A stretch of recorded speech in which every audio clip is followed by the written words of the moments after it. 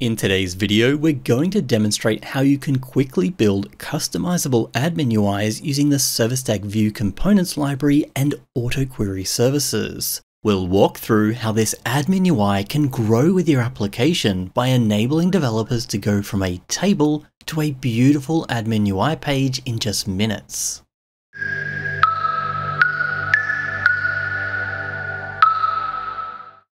Your ServiceStack application already provides a built-in admin UI that uses your AutoQuery services with the low-code application.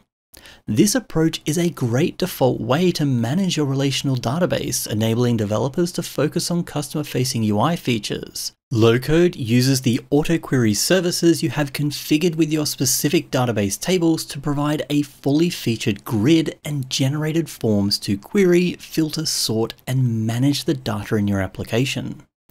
In the early development of your application, this usually works fine, but it's common to find there are some UIs and workflows that need to be optimized to save admin users time in managing the application's data. So while low code provides a lot of functionality by default, it doesn't have the same extensibility as you can get with a fully custom UI. However, the functionality of low code can be replicated in your own UI quite quickly, since low code uses the ServiceStack Vue Components library for all its features. This, along with a simple modern JavaScript approach, we can reuse these components with minimal fuss since we can avoid build tool complexity by using JavaScript modules by themselves. Components like AutoQuery Grid and AutoForms work directly with your ServiceStack application by using your service metadata to generate working grids and forms to interact with your services, removing the need for a lot of boilerplate code while still providing points of extensibility.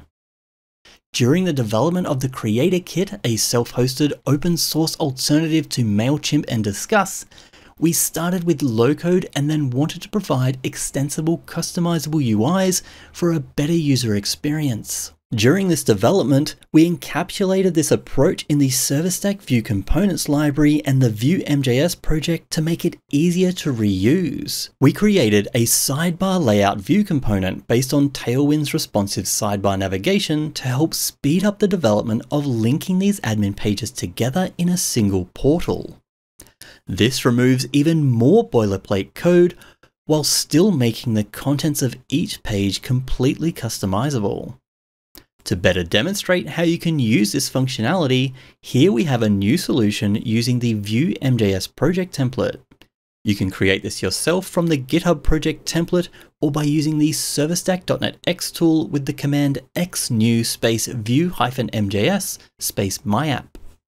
Once created, we can open the solution in your favorite .NET IDE and we can see the usual four projects.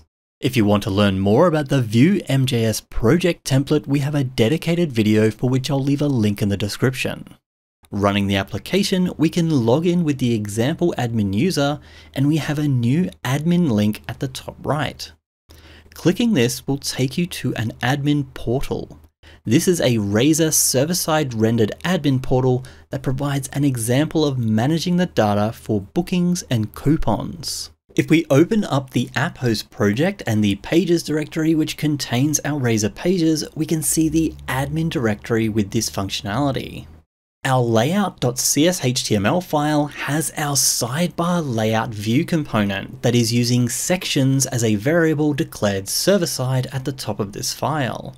This enables us to be able to quickly add new admin UI pages just by adding a new entry with a name, path, and icon to build our left-hand sidebar menu.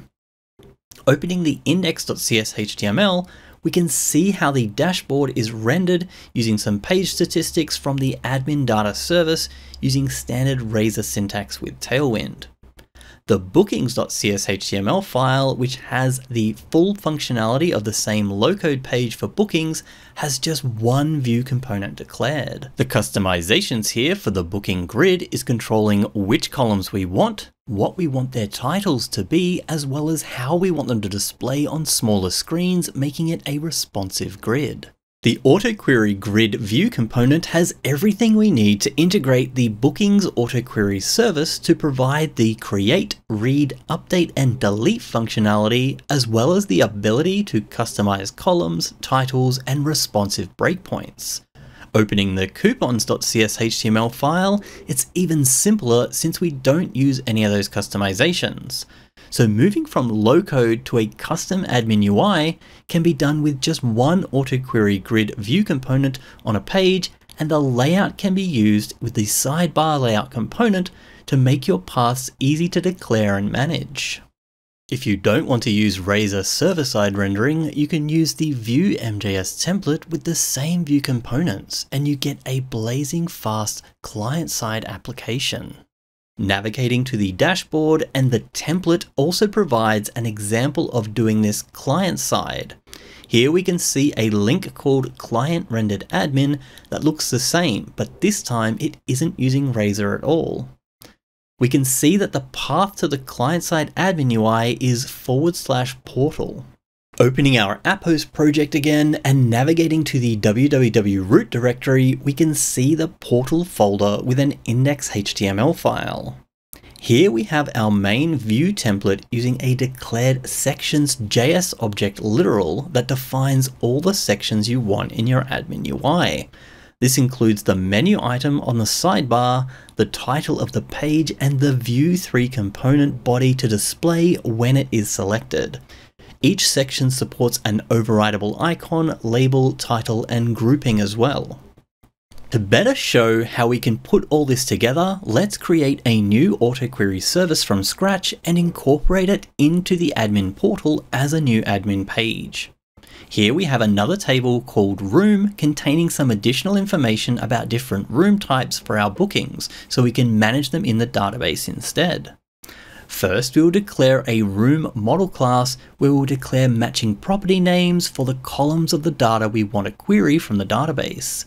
Next, we will declare a query room's request DTO inheriting from query_db and specifying the room model class as the model we'll be using for this query and then add the create, update, and delete room request DTOs implementing the iCreate, iPatch, and iDeleteDB interfaces.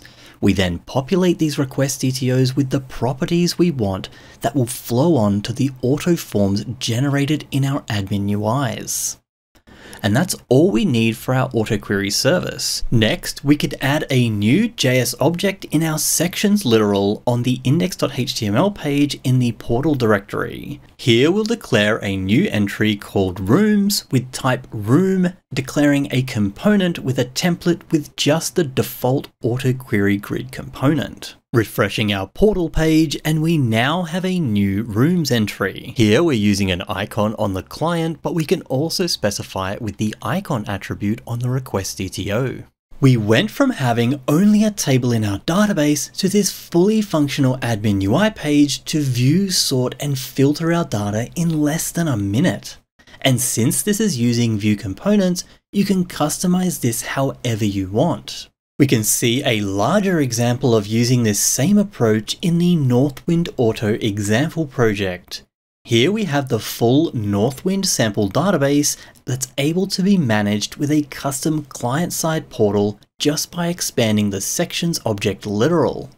Some pages we can just use the default AutoQuery grid Vue component with no customizations, but others we can alter however we like to improve the user experience.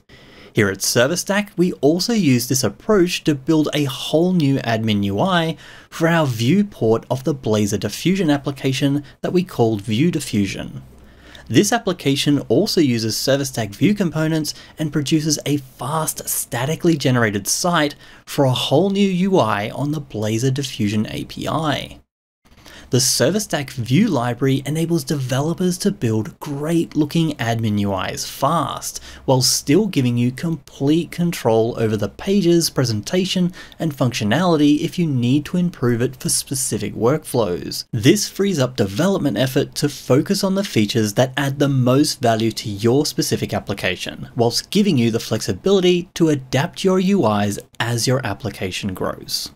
Well, that's it for this video. If you have any suggestions or feedback about our templates or videos, let us know in the comments. If you want to know more, check out our other videos and join us in the ServiceStack community through our Discord and GitHub discussions. ServiceStack is free for individuals and open source projects, so anyone is welcome. And as always, thanks for watching.